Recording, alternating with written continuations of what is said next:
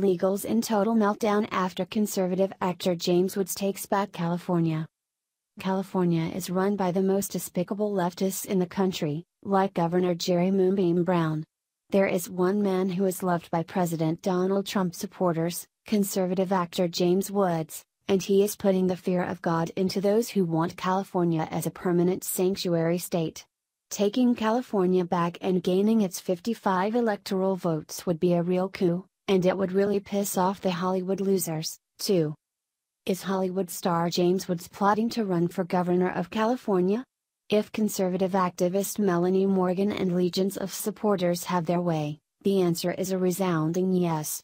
Morgan, who is behind the newly launched petition to push Woods to run, says, Californians deserve a choice in this year's crucial election, and it's a mistake to allow Gavin Newsom to cakewalk right into the governorship without a fight. The Washington Times reports James Woods, governor of California? Why not? The Golden State has a long history of electing leaders from the deep end of the thespian pool. From Ronald Reagan to Arnold Schwarzenegger, Californian voters actually seem to enjoy casting ballots for Republican actors, reads a petition launched Tuesday, which indeed is calling upon the politically attuned and aggressive Mr. Woods to throw his hat in the ring.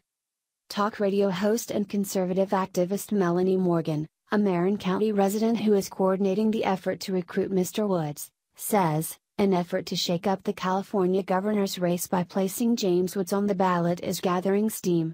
The online signature gathering effort intends to assist fed up Californians in taking a stand against one party rule and the increasing likelihood that two Democrats will appear on November's gubernatorial ballot amid a Republican shutout.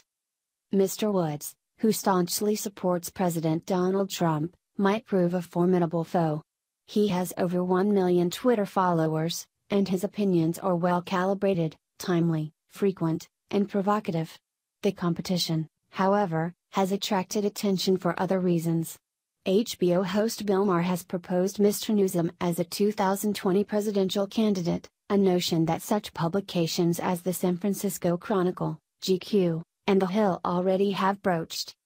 The issue that affects most Californians is illegal immigration, and you'd be surprised at how many California voters who want to stop the sanctuary cities live outside of the two big liberal cities of Los Angeles and San Francisco. Democrats want to bring as many illegals in as possible to add them potentially as Democratic voters, that's the truth. Woods reminded President Trump, this is what you're knuckling under to on DACA in a tweet that featured a video of Nancy Pelosi at what can only be described as a dreamer's circus. Some analysts have suggested that the Democratic Party is keenly interested in certain demographic groups primarily because of their potential to become vital voting blocs. A leaked in House memo appears to confirm that, admitted the Washington Times. The fight to protect Dreamers is not only a moral imperative, it is also a critical component of the Democratic Party's future electoral success, reads a lengthy private advisory memo released by Jennifer Palmieri president of the Center for American Progress Action Fund, and executive director Navin Nayak, which was obtained by the Daily Caller News Foundation. If Democrats don't try to do everything in their power to defend Dreamers, that will jeopardize Democrats' electoral chances in 2018 and beyond. In short, the next few weeks will tell us a lot about the Democratic Party and its long term electoral prospects, the advisory notes.